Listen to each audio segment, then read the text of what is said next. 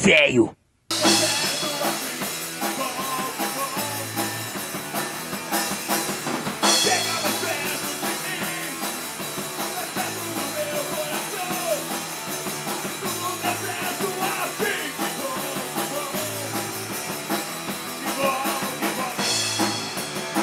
Então eu tô aqui com a banda No Suíno, de Charqueadas.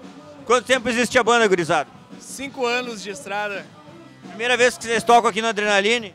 Não, não, na verdade é a terceira vez já que a gente toca no Adrenaline. Terceira vez. Quantos EPs, discos vocês têm lançados aí, cara? Single, né? Somente, somente single a gente tem lançado, a gente não tem nada de álbum gravado, EP, nada, só single. Eu achei massa que vocês tocaram o single de vocês e a galera cantou ali, a galera ficou empolgada, né, cara? Isso aí pra vocês, cara, não dá uma sensação muito boa ver que a galera apoia, tá- ainda tá apoiando o som autoral mesmo com um monte de gente reclamando, cara. Dá um respaldo muito positivo pra vocês. Ah, é gratificante ver o pessoal curtindo o som, apoiando a cena, né? Como falou, tá, tá, tá difícil, mas tem. Ainda tem esperança ainda. Tá, O que, que vocês acham, cara, que vai ser daqui pra frente da cena, cara? O underground ele vai, conseguir, vai continuar se mantendo ou vocês acham que vai chegar um momento que não? Que o underground vai ser esmagado e o pior vai acontecer? Não, eu acho que o underground vai sempre, sempre vai prevalecer porque tem a galera que curte o underground, né? Não, não é só aquele show comercial, a galera curte o underground e sempre tem alguém que, que vai fortalecer, como aqui o Nares do Adrenaline tá sempre ajudando, né? O cara que tá sempre ajudando a cena e. Isso aí. Tem algum recado final que vocês querem deixar pra galera aí, curtir a página de vocês ou acompanhar? Página, página. Página é facebook.com.br nosuíno. Nós temos o nosso Instagram, que é suíno punk. E nosso canal no YouTube, que a gente sempre lança nossos singles lá. E pode procurar nosso som no Spotify também, que em breve a gente vai lançar nosso primeiro EP até o fim do ano. Vai ter o primeiro EP no Spotify e no YouTube.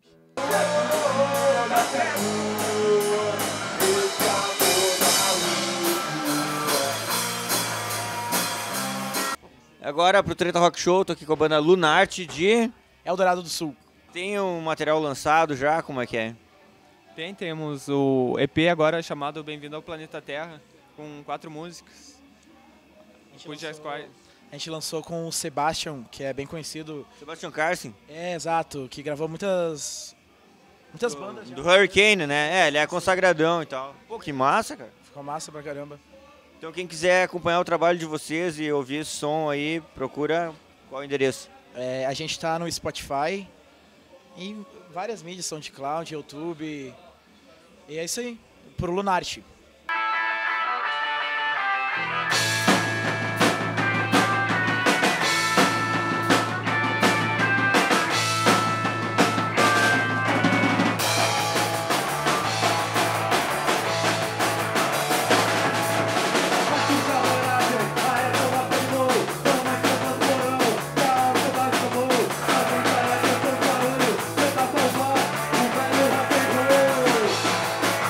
Eu tenho a honra de estar aqui com a banda Pupilas Dilatadas, que existe desde 1984, é isso?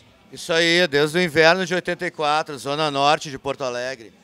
Cara, a galera costuma assim romantizar muito e eh, às vezes eu acho até tem uma memória afetiva de, da- dos anos 80, dos anos 90, mas o que, que era verdade, o que, que era mentira naquela época em relação à cena rock, assim? Era aquele glamour todo, aquele público em massa.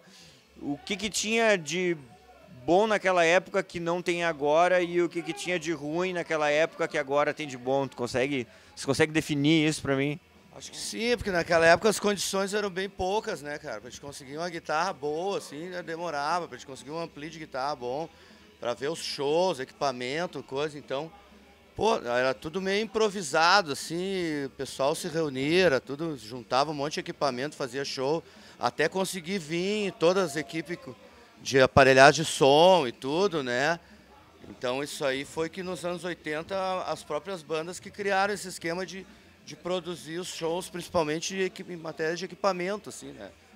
Tu ia no show do Araújo Viana lá, que era aberto em cima, pô, nós botava quatro caixas dentro do Araújo Viana quatro caixas e ficava todo mundo ali e azar, soava como soava. Depois foi aumentando, né? E romantismo sempre vai ter em todas as fases, todas as épocas, né? A minha época dos anos 90, dos anos 80 e 90, então eu convivia com todo o romantismo daquela época, né? E hoje a gente cria romantismo, continua criando esse romantismo. O romantismo do punk vai sempre ter, o rock and roll é o rock and roll e mantém o romantismo e esse valor que tem de do, né, do agito e pela nossa essência, né, eh, de todas essas décadas que a gente passou dos anos 80, dos anos 90 e agora a gente agora. continuando mantendo o punk vivo, o rock vivo, com mulheres fazendo som, Sim. com uma galera cada vez mais participativa e ativa, principalmente em lugares aqui do interior, né? Então no interior a gente fica muito feliz de tocar aqui porque é assim, ó, a, a galera passa aquela energia e aí a gente vê o romantismo da época, né? Isso aí foi a banda Pupilas Dilatadas, sigam os caras, eles são muito legais, valem a pena, estão na batalha. Falou, vamos lá.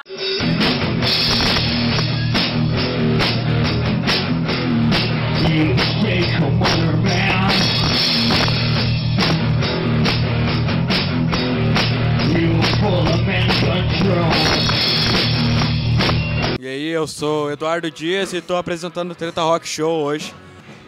Ah, não entendi nada que você falou. O teu nome? Gabriel. Alex. Edu. Uh, quanto tempo faz que vocês entraram na banda? Cara, uma semana, velho. A gente entrou na quinta-feira. Quinta-feira? Por aí, acho que foi por aí. Quinta-feira da semana passada, cara. Então aí, Faz uns seis meses já. Seis meses? Beleza. Como é que, que vocês esperam da noite de hoje? Cara, vamos fazer nosso som aí, vamos tentar tocar o melhor possível e isso aí, cara. Avalanche é loucura total. Então acho que a noite promete, acho que vai ser legal. De noite a gente vai mostrar para todo mundo qual é o resultado do nosso esforço de uma semana. Valeu, boa noite, eu tô aqui com a banda Avalanche.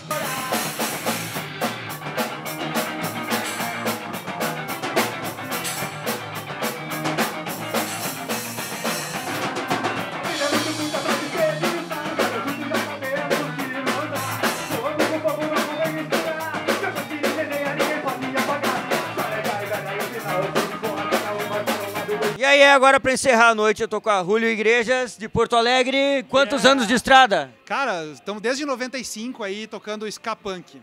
Então são ska 24 punk. anos, é isso? Estamos bem de matemática? É, 24. 24. Segundo as minhas contas, dá 24. Em questão da cena, em questão da cena, cara, vocês pegaram toda a era MTV ali, a, a, a parada toda, né? Chegaram a pegar essa, essa onda? Sim, sim. Quando a gente começou ali em 95, a gente começou a fazer show por 96. Bom, então, então teve um, tudo, sim, cara. teve um momento bem grande do, do boom assim do, do, da MTV, mas eu acho que o momento assim que foi mais legal de show, cara, foi o início dos 2000, Bom. porque em Porto Alegre tinha uma cena bem ativa. Então a gente tinha bastante shows assim, a gente chegou a tocar bastante em 2000. Mas a gente não pode reclamar de 2014, que foi o ano que a gente fez mais show, 2013, 2014, a gente lançou um disco bem legal. E, cara, a gente chegou a fazer 30 shows num ano, assim, teve 36 shows num ano, assim. Foi um, uma época bem boa. Foi, foi. Esse foi o melhor desempenho que a gente teve. Foram 30, 33 shows no, no ano, acho. Mais ou menos por aí. Cara, do, do que, que vocês sentem saudade, assim, daquela época? O que era bom naquela época que não tem agora? E o que, que tem de bom agora que não tinha naquela época, assim? Vocês conseguem fazer, medir isso aí? Cara, eu sou a nova geração da banda, né? Eu, eu não vivenciei essa época. Eu entrei faz dois, três anos, eu só fui como telespectador da MTV, né? Assim, na, na, o que a gente sente falta, cara, é a presença da galera nos shows. Hoje em dia vai muito menos gente, né? É, total. E a, a, galera desmotivou um pouco, a gente não consegue achar muita explicação. Talvez se a gente achasse a explicação do motivo das pessoas terem parado de show, a gente pudesse trabalhar esse lado e resolver esse problema, né? Mas, por exemplo, assim, uh, a gente tocava no Garagem Hermética, Sim. que era uma casa bem famosa em Porto Alegre, e, cara, a gente colocava, chegou a colocar 300 pagantes uma noite, lotou o garagem, assim, para um lançamento de um CD demo que a gente tinha.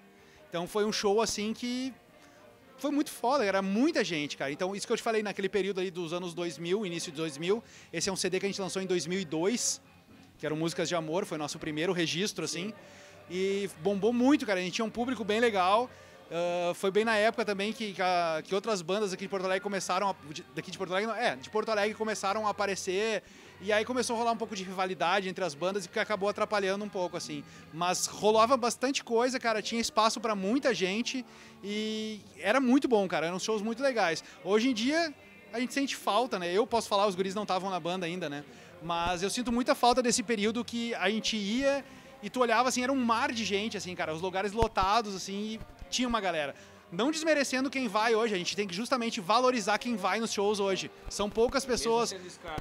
Mas as pessoas que vão, cara, elas estão ali muito de coração. Pô, hoje a gente tá aqui em Butiá, a gente teve amigos que vieram de Santa Cruz para nos ver também, sabe? Então, Sim. pô, isso foi muito legal, cara. Pô, viajou, pegou uma hora de estrada, pelo menos, né?